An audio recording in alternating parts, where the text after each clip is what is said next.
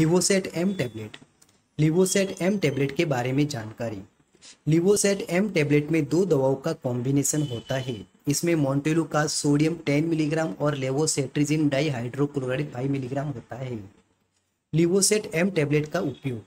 इसका उपयोग एलर्जी के लक्षणों के उपचार और रोकथाम के लिए किया जाता है, जैसे कि साइनस के लिए, एलर्जी वाली सर्दी, खांसी के लिए।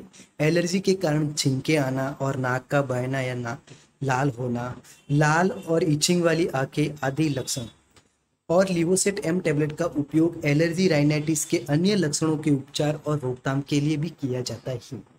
लिवोसेट एम टेबलेट ज़्यादातर एलर्जी राइनाइटिस और पीती से पीड़ित रोगियों के लिए निर्धारित है। लिवोसेट एम टैबलेट का उपयोग इचिंग वाली स्किन और स्किन पर लाल रेसेस सहित दाने और एलर्जी की स्थिति से जुड़े लक्षणों से राहत के लिए किया जाता है।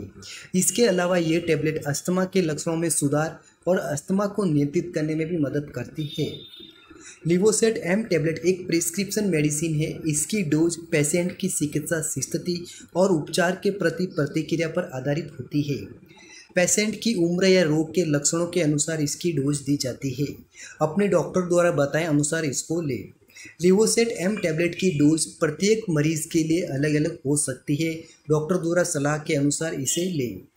लिवोसेट एम टैबलेट के साइड इफ़ेक्ट इस टैबलेट के सबसे सामान्य साइड इफ़ेक्ट जैसे कि अनिंद्रापन या नींद आना, उल्टी होना जी मसलना डायरिया होना, मुँह में सूखापन सिरदर्द होना स्किन पर रेसेस आना फ्लू जैसे लक्षण और थकान और अन्य कई साइड इफ़ेक्ट हो सकते हैं और इनके अलावा भी कुछ साइड इफ़ेक्ट हो सकते हैं।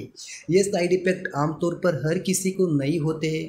यदि आपको किसी भी साइड इफ़ेक्ट का अनुभव अधिक होता है और ये कम नहीं होते तो आपको अपने डॉक्टर से परामर्श करना चाहिए।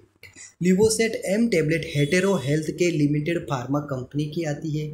यह टेन टैबलेट के एक स्ट्रिप में उपलब्ध है और इसकी प्राइस नाइन्टी रुपीज़ प्रति टेन टैबलेट है।